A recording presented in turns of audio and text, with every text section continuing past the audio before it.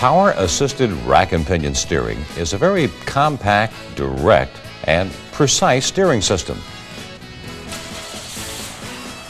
The power steering pump is belt-driven from the crankshaft.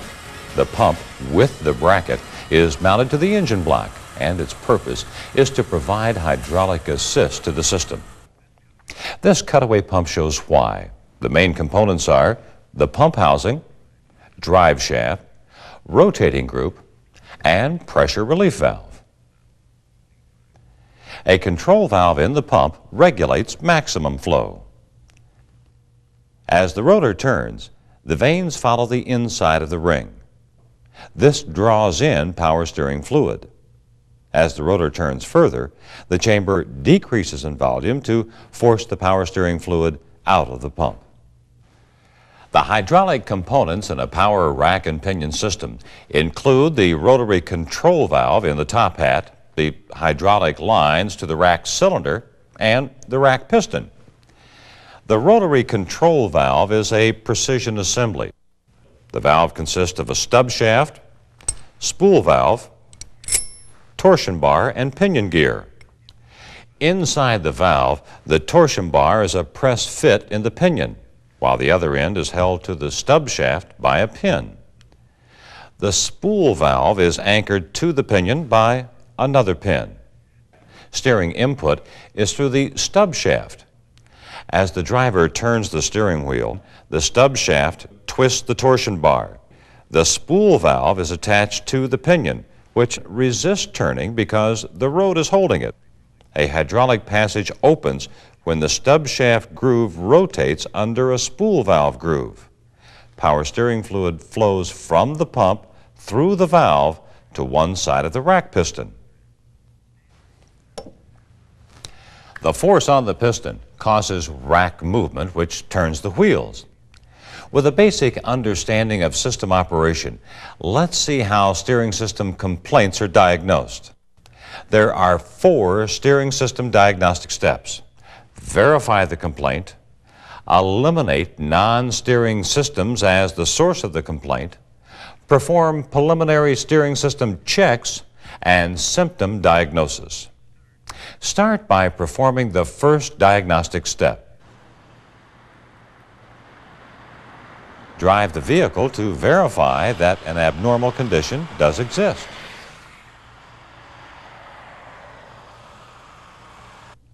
The second step is to eliminate non-power steering system concerns as the source of the complaint, like the front suspension system. The Know-How Reference Manual has a checklist you can use to help isolate the steering system. The third step is to perform steering system checks. The Know-How Manual has another checklist to help narrow down steering system complaints. This checklist finds most of the steering faults and only takes about five minutes to run through. The fourth step is symptom diagnosis. This will help you find the more difficult sources of noises. The Know-How Reference Manual has complete symptom diagnosis charts. Each chart covers a lot of ground. In a nutshell, the chart describes a problem, explains when it occurs, lists all the possible causes, and then offers the solution. Let's look at just a few of these symptoms. Shudder is a condition that can exist in any vehicle. Shudder is not caused by the steering system, but the steering system does display the symptoms. Shudder usually occurs during slow, steady steering wheel movements, while the vehicle is stopped or moving very slowly, as in a parking maneuver. Shudder vibrates the steering rack and then vibrates the entire vehicle. The steering system otherwise operates normally. Shudder is actually caused by the engine's firing pulses. Since the engine turns the pump, engine speed determines pump flow. Idle speed actually changes several times per second. A change in engine speed changes pump flow. When idle speed is graphed and plotted, it really looks like this. The engine constantly speeds up and slows down, resulting in RPM fluctuation. This fluctuation looks like a wave or ripple. This ripple is transmitted to the power steering pump by the drive belt and pulley. Due to these changes in engine speed, the pump discharges a rippling column of power steering fluid. During a turn, the torsion bar twists to open the spool valve port. Rippling fluid enters through the valve to the rack cylinder and vibrates the rack while moving it. The pinion and spool valve vibrate too. As the spool valve hole moves over the groove and back, the valve opens and closes. Each time the valve opens, the rippling fluid acts on the rack. This cycle repeats 35 to 40 times a second during the turn to cause shudder. The effects can be felt and heard throughout the vehicle. Shudder is not due to a faulty steering gear or pump. The problem can only be solved by removing pressure ripples from the steering fluid flow. One effective method of repairing a shudder condition is the installation of a new tuned hose. From outside, a tuned hose looks just like a regular hose. Inside, a steel tube extends into the interior of the hose. Rippling power steering fluid flows through the tubing. Then some fluid flows back between the tubing and the hose. The ripple then doubles back and enters the main flow again. This tuned fluid, having traveled a different distance, is not in step with the ripples from the pump. The frequencies of the two ripples are staggered. The ripple effectively cancels out. The result is a solid column of fluid. Another repair for a shudder involves an expansion hose. An expansion hose changes length and diameter with every ripple. Expansion hose construction allows for this change by using a softer hose compound than a standard hose. The braiding that surrounds the inner hose can be manufactured with fewer braids, with different braid angles, or with less braid tension. This hose acts like the accumulator in a transmission. As the hose reacts to fluid ripples, the ripples are dampened due to the hose expansion. Routing is important for high expansion hoses. As the hose width expands, its length contracts. Be careful to position the hose away from the exhaust manifold or components with sharp edges. A third shudder repair involves replacing the crankshaft torsional damper on the 3300 engine with a newly designed damper. The new damper cancels the ripples before the drive belt transfers them to the pump pulley. The repairs for shudder did not cover all car lines because shudder is not apparent in all models. A tuned hose for a Regal is designed for that vehicle, and other vehicles require their own repair.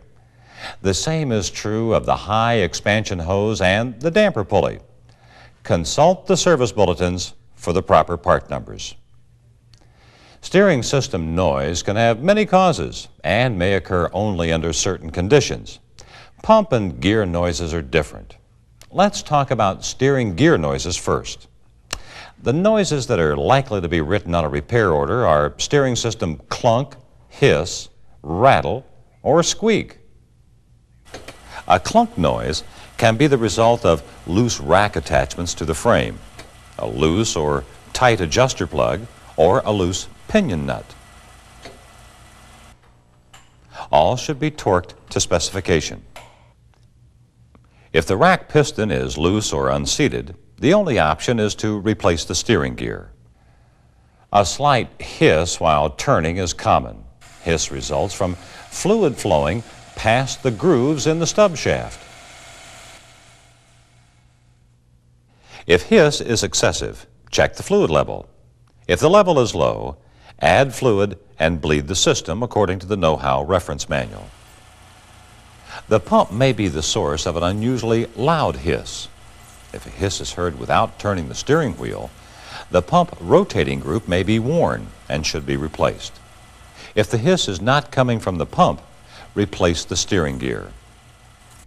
Steering system rattle is usually an intermittent noise caused when a pressure hose touches the vehicle. In these cases, reposition the hose. A loose or worn tie rod end can rattle. Loose tie rod ends must be replaced. Another cause of rattle is a loose steering gear mount. If the mount is loose, torque it to specification. The adjuster plug can rattle too. This may be accompanied by a complaint of very light steering. Torquing it to specification should repair the complaint. The last steering gear noise we will talk about is squeak. Squeak is usually caused by a pinion seal that needs grease. Power steering pump noise is slightly different from steering gear noise. Pump chirp, groan, growl, rattle, swish, and whine are the types of noise to listen for. A chirp or loud squeal is almost always due to a worn or loose drive belt. Replace a worn drive belt and adjust tension on loose belts using a belt tension gauge. Do not guess when it comes to belt tension. Pump groan may be due to oil starvation. If the reservoir level is low, there is probably a leak in the system. Check all hoses, lines, and connections for traces of power steering fluid. Replace components as necessary. Another cause of pump groan is a loose mounting bracket. Torque the pump mounting bolts to specification. Pump growl is usually due to a restriction in a pressure hose, rack cylinder line, or inside the gear. Use the Power Steering System Analyzer, tool J25323A, to locate the restriction. Two simple connections. Place the analyzer in the high pressure line between the pump and the gear. The analyzer measures system back pressure and flow at idle, flow at 700 psi, and maximum pressure at minimum flow. The analyzer also checks control valve operation and helps locate internal rack piston leakage. Another cause of pump growl is internal pump leakage. The analyzer can be used to find this complaint as well. The only remedy for this condition is to replace the pump rotating group components. Pump rattle has two possible causes. A loose or an improperly installed pulley can rattle. If so, remove and inspect the pulley and shaft for damage. If the pulley is fastened by a bolt, install the pulley and torque the bolt to specification. The second cause could be a scored bearing due to oil starvation. If the bearing is scored, replace the pump. A swish noise is most likely due to a faulty control valve. The valve is not closing properly and must be replaced. Pump whine begins when low levels score the bearings, pressure plate, and vanes. If the noise continues after the fluid level is correct, replace the pump rotating group components. The Know-How Reference Manual contains diagnostic charts and specifications. An organized diagnostic approach will help you quickly find power rack and pinion steering system problems. When all power-assisted rack and pinion steering components work together properly, the result is a Buick that responds with effortless precision. That's the difference between a street and the great American road.